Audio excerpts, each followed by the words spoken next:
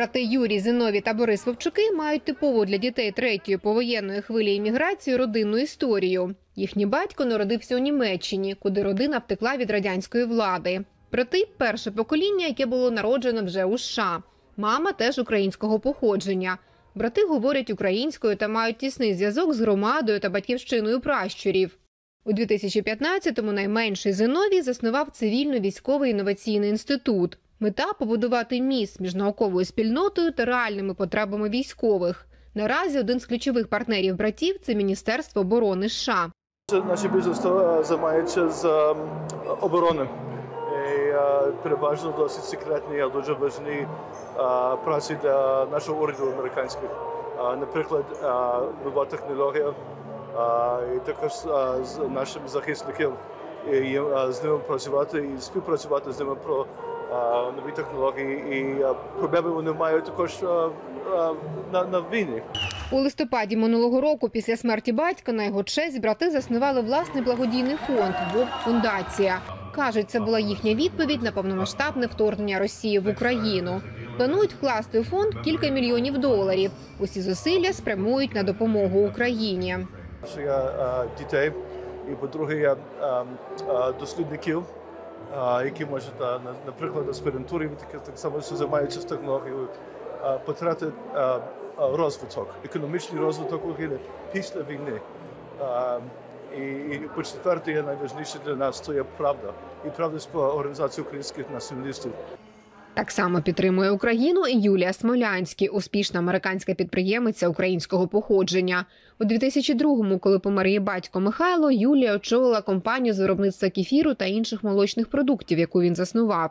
Під керівництвом Юлії дохід компанії зріс з 12 до 141 мільйона доларів на рік. Ми дуже пишаємося тим, що впродовж останніх 36 років створювали продукти української спадщини, навчаючи американців, як пити кефір та що це таке, а також усі його переваги для здоров'я. Це те, що українці передають з покоління в покоління вже понад дві тисячі років. І лише після нашої міграції, коли мої батьки залишили радянську Україну з Києва, вони взяли цей продукт, привезли його з собою та поділилися ним з рештою світу. Менше ніж за 10 днів після повномасштабного вторгнення Росії в Україну Юлія організувала збір коштів у Чикаго. І з її ініціативи було зібрано майже мільйон доларів на підтримку України. З того часу не припиняє збирати кошти та допомагати. Героям слава Мене справді надихає, зворушує український народ, і все, що ми можемо зробити, щоб підтримати, ми завжди будемо робити. Я вважаю, що сьогодні дуже важливо об'єднатися, тому що разом ми сильніші ніж поодинці. І я думаю, що об'єднавшись разом, ми можемо створити організації, захистити та зберегти Україну, залучити людей у Вашингтоні, які мають гроші, щоб продовжувати вкладати фінансові ресурси та людський капітал в Україну. І не просто зараз, а завжди. Понад 300 тисяч доларів передала на допомогу Україні провідна компанія з виробництва сантехніки, співзасновником якої є Руслан Ліві. Руслан з родиною емігрував до США з Симферополя, коли йому було 15 років. Після вторгнення Росії разом з партнерами та друзями заснував фонд допомоги Україні.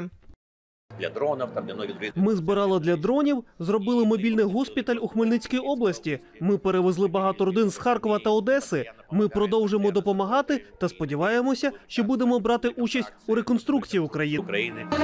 Тарас Лавровський та Діана Гетун приїхали до США вже після вторгнення. Познайомилися та вирішили разом займатися бізнесом. Перший проект це видання книжки «100 американських підприємців українського походження. Працюючи над проектом, проаналізували тисячі компаній. кажуть, практично кожна активно допомагає Україні. Після е, кожного нашого спілкування з потенційними героями нашого проекту е, ми дізнавалися все більше і більше, що вони е, з початку повномасштабного вторгнення були повністю залучені е, в допомогу України, в допомогу людей в Україні, а також допомогу армії. Книжку про американських бізнесменів українського походження презентували у Нью-Йорку. Під час презентації відбувся і аукціон збору коштів для двох фондів: Юнайтед 24 та готівка для біженців.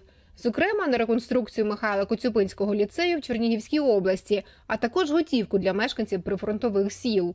Відкрила аукціон українська акторка Івана Сахно, яка працює у Голлівуді та є амбасадоркою фонду Юнайтед 24 Наскільки довго ми про це говоримо, настільки не буде спадати увага. Тому важливо тримати світ а, у фокусі на рахунок України. Це є частиною а, мого життя кожен день. Тому звичайно підтримку я отримую від е, моїх партнерів по зйомкам і від друзів. Вона відчувається.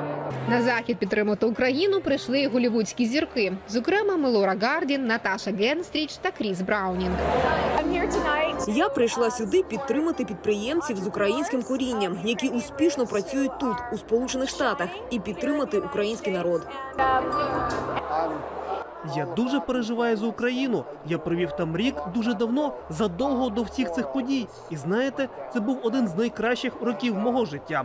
Я чудово провів час. Я сподіваюся, що ми повернемося до того, що ми мали. Останні півтора роки я роблю все, що можу, аби підтримати Україну. Навіть просто бути присутньою тут для українців і показати, що американці, канадці, ми на вашому боці. Ми стоїмо з вами. На аукціоні, поміж іншого, розігрували футболку з підписом головного тренера збірної України Сергія Реброва, а також автентичну вишиту весільну сорочку з Вінниччини. У підсумку вдалося зібрати 80 тисяч доларів. З Нью-Йорка Ірина Соломко, Павло Терехов, Голос Америки. Lord Jesus.